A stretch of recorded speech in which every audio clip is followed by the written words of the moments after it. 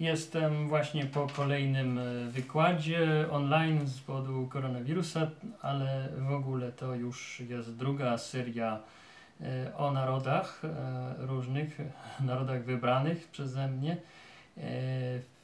Przeprowadziłem właśnie online ten wykład ze studentami Wydziału Nauk Politycznych Dziennikarstwa UM czy Uniwersytetu Poznańskiego. No i yy, chciałbym zwrócić uwagę, że tak jak pewne stereotypy, które sobie omówiliśmy odnośnie Włochów, bo to o nich był teraz yy, były, były zajęcia, yy, tak jak większość stereotypów, mamizmo, familiaryzm, to koncentrowanie się właśnie bardziej na życiu rodzinnym, E, skorumpowane media, e, pewna żołnierskość niezbyt e, mm, nie, mała waleczność i tak dalej, i tak dalej. Te rzeczy się tutaj, to, to, to ma związek z tym, że Włosi byli zazwyczaj źle przygotowani do wojny, także w takich warunkach trudno być odważnym czy skutecznym przede wszystkim w boju. Y, jeśli chodzi o y, Dolce Vita, jeśli chodzi o filmy Fare Bella Figura, ta, ta, taka koncentrowanie się na sprawach estetycznych raczej niż na jakichś tam filozoficznych przemyśleniach, y, muzyka, moda, to było wszystko wspomniane, tak samo jak było wspomniane w zeszłym roku. Ale pojawiły się pewne różnice.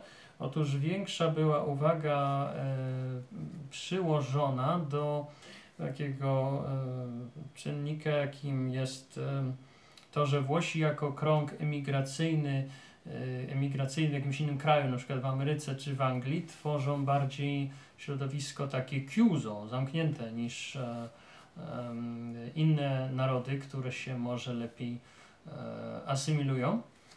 Y, to było bardziej stworzone. No, rzeczywiście, bo jeśli są bardziej rodzinni, to bardziej są też narodowi przez to, prawda? Więc to może mieć e, fakt.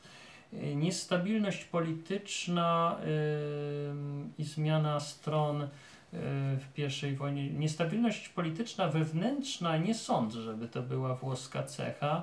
Wydaje mi się, że jeżeli właśnie te, te wszystkie dragety, kamorry, mafie nie rozerwały Włoch, e, to świadczy to raczej stabilita niż instabilita.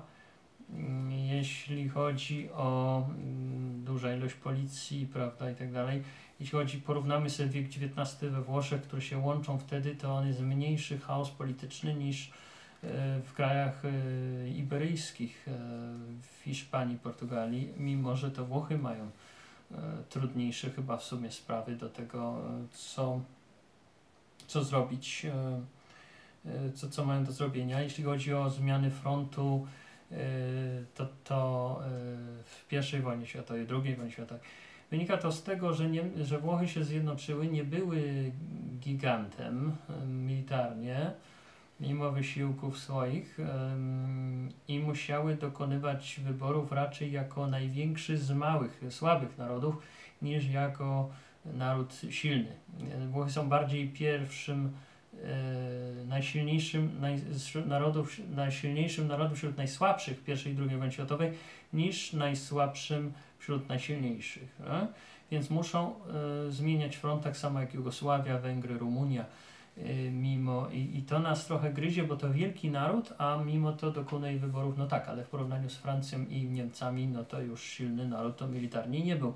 W porównaniu z Anglią to nie był już kraj bogaty i tak dalej, i tak dalej. Także nie był to kraj e, pierwszoliniowej potęgi, takiej jak e, Anglia, Francja, Niemcy, nie mówiąc już o Związku Radzieckim czy Stanach Zjednoczonych. Stąd ta zmienność. Ta zmienność jest racjonalna, to nie wynika raczej z charakteru, ale to, że tym razem było wspomniane, że nie lubią Francuzów.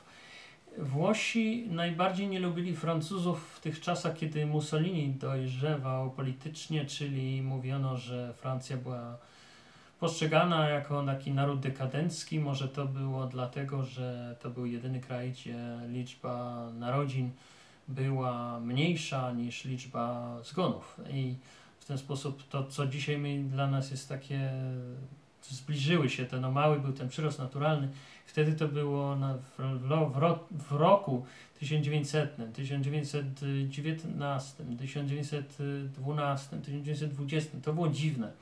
I postrzegano